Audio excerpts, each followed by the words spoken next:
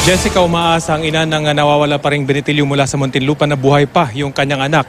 Ito ay sa kabilangan na sunod-sunod na natagpuan na patay yung kanyang tatlong kasamahang dinukot. Tatlong linggo na ang nakakaraan. Magtatatlong linggo mula ng dukutin ng mga armadong lalaki. Blanco pa rin ang Muntinlupa Police sa kinaroroonan ng labing anim na taong gulang na si Toto Riboriano, isang grade 7 student.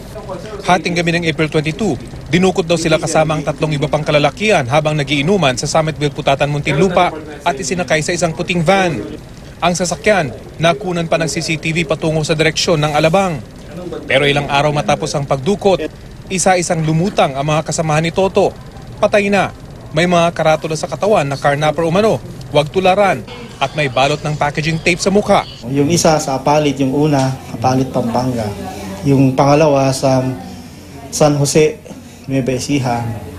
Then yung ah, pangatlo, yung sa Umingan, Pangasinan. Isa sa mga pinatay na kinilalang si Joshua Anzures may kasong possession of illegal drugs pero nakapagpiansa. Ang dalawang iba pa, may record din umanong sangkot sa motor napping pero wala namang nakasampang kaso. Maari sir na yung grupo rin nila ang may kagagawan nito. So par yun ang inaalam natin sir, yung kanilang grupo. Tanging si Toto na lang ang hindi pa rin matagpuan. Base umano sa intelligence reports, posibleng drug runner ang binatilyo, bagamat wala naman siyang ganitong record o reklamo sa pulisya.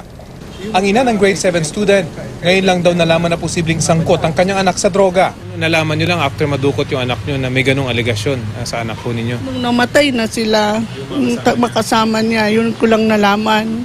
Pero nung una, wala talagang nagsasabi, walang nagsasalita. Bagamat nung una, kinabahang posibleng patay na rin ang anak matapos isa-isang maglutangan ng mga kasamahan. Naniniwala si Nanay Ding, buhay pa ang kanyang anak. May sakit daw ito sa puso, malambing at hilig lang ang basketball at pag-aalaga ng manok. Pakiusap niya sa mga dumukot, Parang awa nung po nagmamakaawa po ako sa inyo. Pakibalik naman po ng anak ko. Wala po siyang alam kung ano man ang mga atraso ng mga kasama niya. Wala man sigurong alam niya ang batang yan.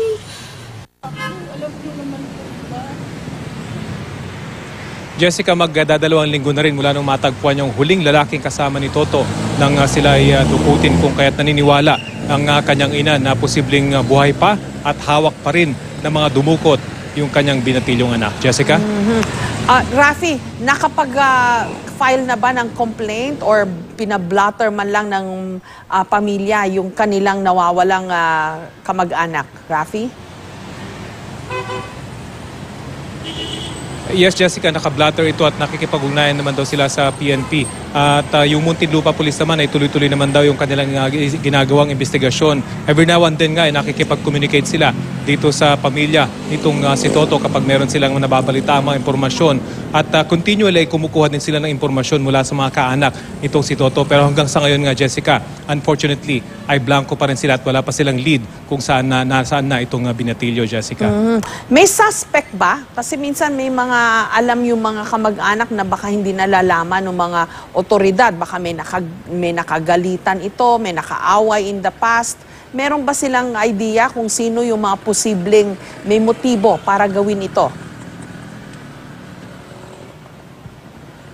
Sa ngayon nga, Jessica, wala pa raw talaga silang ah, alam kung sino yung posibleng suspect dito. Ang speculation lamang ay posibleng grupo na ng ah, ah, mga ah, gang itong ah, gumawa nito at grupo rin itong ah, mga ah, napatay ng mga kasama ni Toto. Yung ah, gumawa nito at posible sigurong natatakot sila na sila ay ma-reveal yung buong grupo kung kaya't dinukot ang mga ito at ah, pinagpapatay. Pero speculation pa lamang yan, Jessica, at wala pa talagang lead kung talagang yan nga yung uh, katotohanan.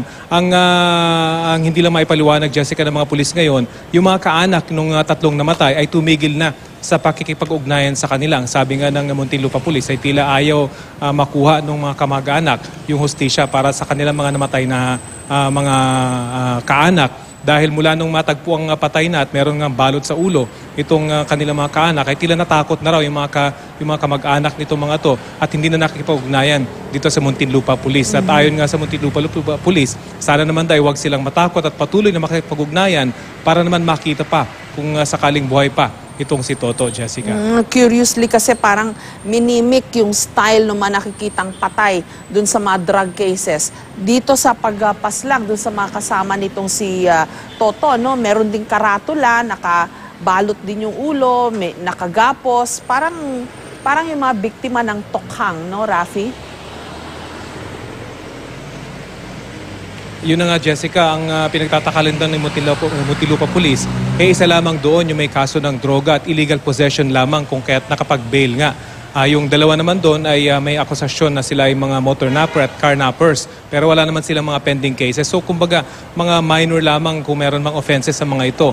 Meron bang mga intelligence report na sangkot ang mga ito sa illegal activity kabilang na itong si Toto na umano'y ah, posibleng isang ah, ah, drug runner ay walang mga nakasampang kaso sa kanila. So hindi mo maituturing, Jessica, na mga halang ang kaluluwa, ika nga, kung kaya't ginawa ito sa kanila. So talaga, kaya, kaya naman blanco sa ngayon ang ah, pulis kung ka, bakit ginawa ito dito sa tatlo at kung ba't nawawala pa rin hanggang ngayon itong si Toto, Jessica. Maraming salamat sa iyo, Rafi Tima.